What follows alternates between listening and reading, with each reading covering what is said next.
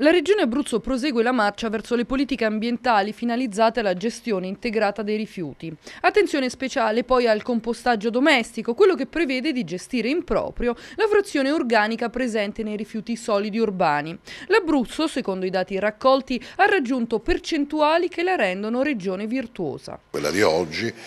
eh, che riguarda il tema del compostaggio domestico è un segmento del quadro dell'economia circolare, come altri ne abbiamo perseguiti eh, per quanto attiene i rifiuti eh, elettrici ed elettronici, quelli da carta e cartone, per cui la Regione Abruzzo è la prima regione del sud, per quanto attiene anche il uh, discorso della plastica, l'attività che abbiamo svolto insieme al Corepla, insomma tutti questi segmenti che poi alla fine ci hanno eh, fatto avere questa performance che dicono almeno i dati reali, eh, ancorché eh, in, in nostro possesso, ancorché non ancora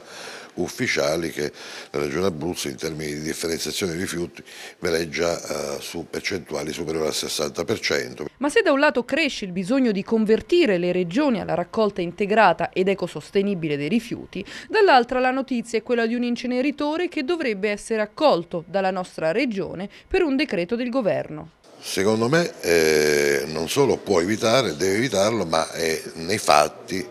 eh, già un'ipotesi estremamente remota perché non ce ne sono le condizioni, perché eh, c'è la possibilità di agire diversamente e soprattutto eh, perché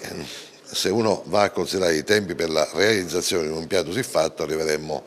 credo ben oltre il 2020 quando noi in termini di produzione dei rifiuti dovremmo essere, perseguendo queste politiche come stiamo facendo ormai da qualche tempo, ben lontani da quell'evenienza.